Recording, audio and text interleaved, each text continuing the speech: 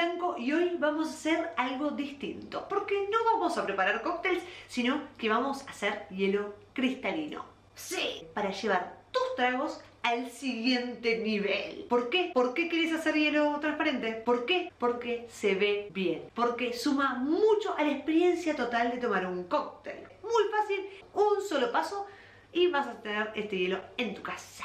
Y para esto necesitas una herramienta sumamente compleja de la NASA, del inframundo. No, para esto solo necesitamos una conservadora, una lanchera, una viandita, una neverita, una transportable, una... Bueno, ya me entendiste. O podés usar en su reemplazo una caja de telvopor bien gorda.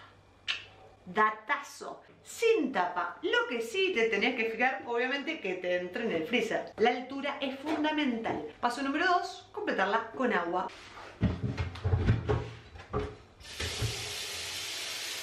¿Ya te suscribiste al canal? Aprovecha ahora mientras que lleno eso de agua. Una vez que lo tenés así, adentro del freezer. No queremos que se congele entero, no, porque si no, no, no, no va a funcionar. Pero con 24 horas va a estar bien, depende obviamente del tamaño de la neverita conservadora que te hayas conseguido. Nos vemos en 24 horas y vemos cómo quedó esto. Dale.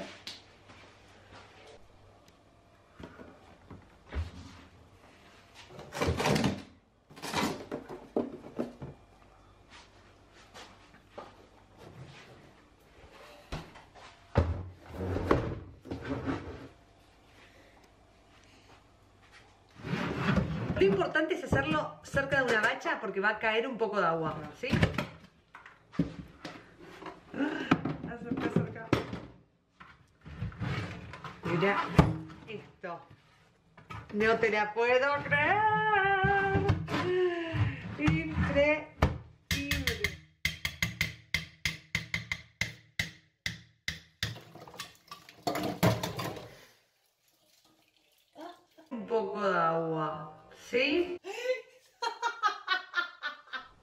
Les dije, miren esto, perfecto. Con un cuchillo de, de pan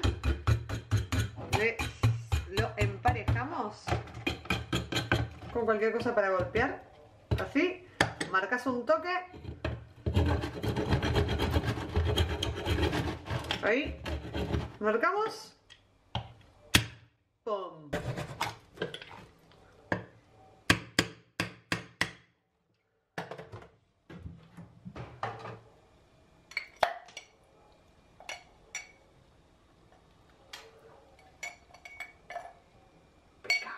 Impecable.